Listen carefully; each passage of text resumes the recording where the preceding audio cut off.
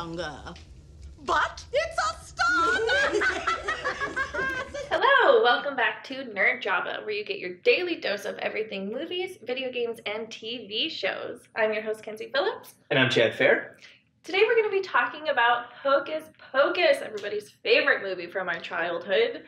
Well, my childhood. Yes. I wasn't even born when this movie came out. How old were you, Chad? Yeah, we're not going to discuss that. So Hocus Oh. Pocus was one of those movies that I didn't start watching until I started dating my now wife. Uh, so I didn't see this until I was already well into my 20s. Um, oh, wow. So this, yeah, so it was it was much later. I didn't see this as a childhood movie, whereas Right, like this was a movie that she grew up watching. Yeah. Because you're an old man. Yes, But exactly. speaking of, uh, this old man has no Halloween spirit. So, here's your Disney ears. Come, come, come. Perfect. There we go. Yay. it, it feels very Disney. Like whenever you think of um, the other things that this director did, as far as High School Musical, but yeah, Kenny Ortega definitely has a very specific brand Mm-hmm. of movies that he puts out. I think of like Halloween Disney. I Mhm. think of things like Hocus Pocus, like Halloween Town. It- Yes. It, it falls right in that genre. If you like that type of stuff, this is going to be great for you and the family. Looking back, I would say that the original Hocus Pocus is a tad scarier than the new one. Yeah, there were definitely scary moments. Yeah. And at the end of the movie where they leave those two teenagers in the cages, Yeah, that's messed up. it's messed up, but it's kind of funny. But it- I, I wish they would have tied that into the new one. Yeah, I do too. Because I, I always wondered like what happened to those guys. Yeah. Had they made that movie nowadays, Yeah, like that wouldn't have been in there. yeah. You know, so it, it has those like risky moments that movies made in the '90s had away that make it so much more fun. Yeah. Yeah, it's definitely a darker movie, but still very kid friendly. Mhm. You know, there's the iconic musical number Oh yeah. that sticks with you your whole life. I love that song. I, I love cast a spell on you. it. Yeah. I put a spell on you.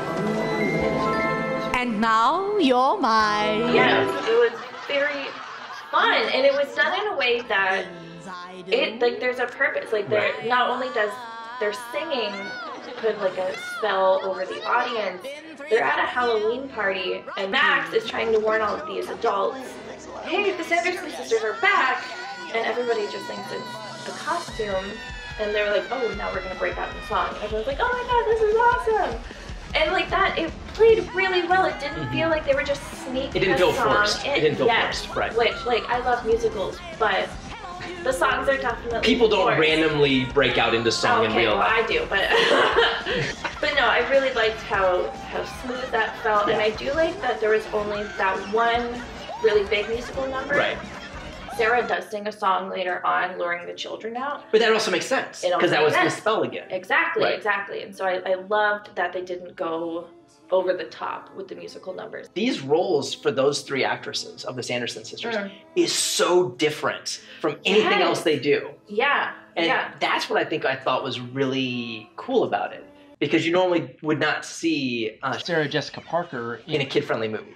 Like, I don't No. know that I can think Not of at that. Um, and then Bette Midler is like this, like, golden age goddess of film. Like, that Mhm. you're like, wow, I can't believe she's doing a kid's film.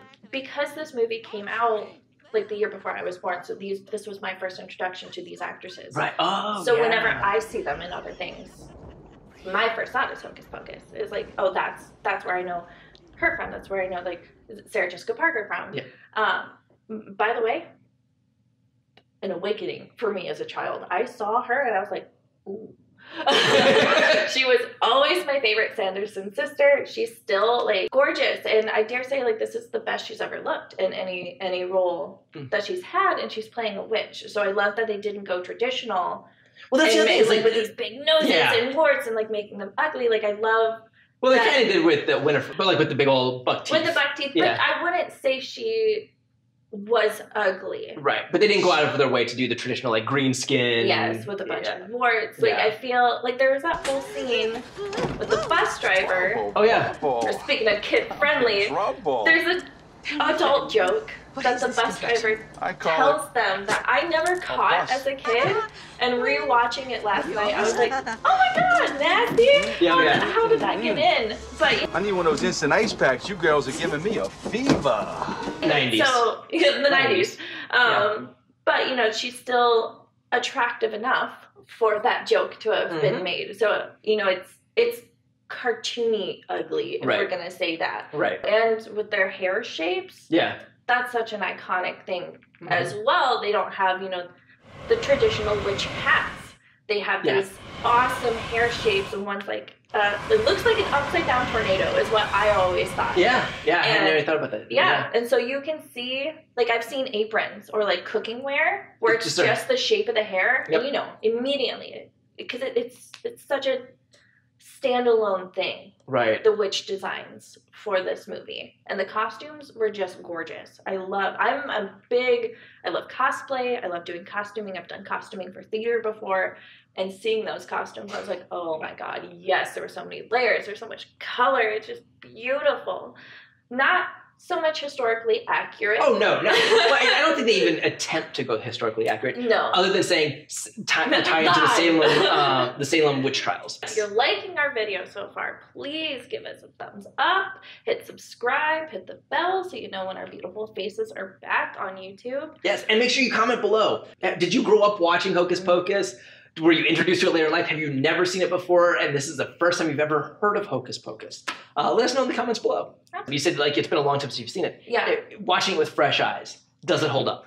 I think because it was such a a standing point for you know millennial childhoods. Of course, we love it, but looking at it as if this movie came out right now, I feel like a lot of people my age would be like, "Oh, that was kind of lame." Mm-hmm. Um, but if you're with a family, Mm-hmm. if you have kids, if you're watching it with your parents, everyone would love it because it's fun. It definitely has those like funny adult jokes. It has like some musical numbers that the kids can like really Mhm. get into. It has you know this beautiful fashion and all this that people my age can be like, oh, I really appreciate that. So I think if it's if you're watching it as a family, absolutely, it still holds up. There was one thing that I didn't like about it Oh, specifically, and it's because you know it's a very cute movie. It's very fun. It's very heartwarming. yeah. There was one scene where like the tower and the the house explodes as they're leaving. Yeah. No explosions at any other point in the movie. They have like, electric Yeah. like powers. Yeah. I guess it looks like electricity to me. No explosions, and then all of a sudden, like the the whole tower in their house just like explodes.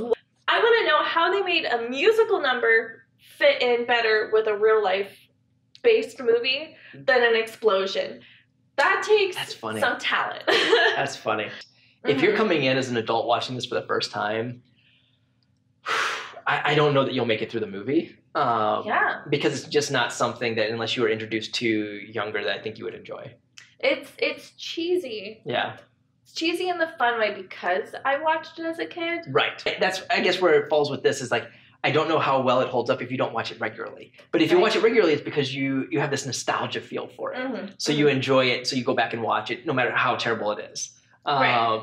So I, I kind of feel like that's where this falls. It has grown on me over the years because I've seen it so many times now. right. um, and and it has that kind of like that emotional tie to it of like, oh, this is a family thing. Um, but yeah, I would almost give it like two different ratings, but like as far as like one of like the nostalgia feel, like oh yeah, if you, if you watch this as a kid, yes, go back and watch it. But I think for like a new viewer, I don't know that I would rate it super well. rating it as someone who had watched it as a kid, and this is a nostalgic movie for me. I think I'm gonna give it a three and a half. It's very fun. It's very family friendly. It's not too scary for little kids. Right. It's a it's a nice, solid movie. Yeah. Nothing exceptional, but nothing terrible either. I, I would I would tend to agree with you though. I think that a three and a half is a nice review for this. um, but it has grown on me over the years. If I were to give this a review back when I first saw it, I'd been like solid one and a half. oh gosh. um, because it just doesn't meet my qualifications for Halloween, but it's kind of grown on me over the years.